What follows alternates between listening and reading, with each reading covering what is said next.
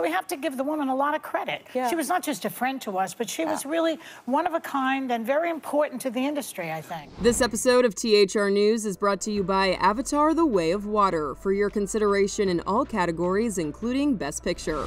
The View paid tribute to the late Barbara Walters with its first episode of the new year. Walters, the trailblazing newswoman who co created The View, died December 30th at the age of 93.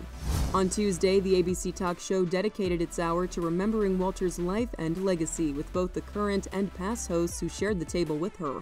Walters launched The View at age 68 and spent 17 years on the show before her 2014 departure and retirement from journalism. Joy Behar called her the original role model for women in TV news. She very much defied sexism and she Yes. defied ageism.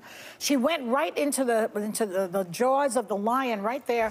Sunny Hostin said Walters always validated her opinion, and Alyssa Farah Griffin called her a trailblazer and a pioneer. Meanwhile, Sara Haines shared this. For someone who gets paid to talk, what she mm-hmm. did so well was listen.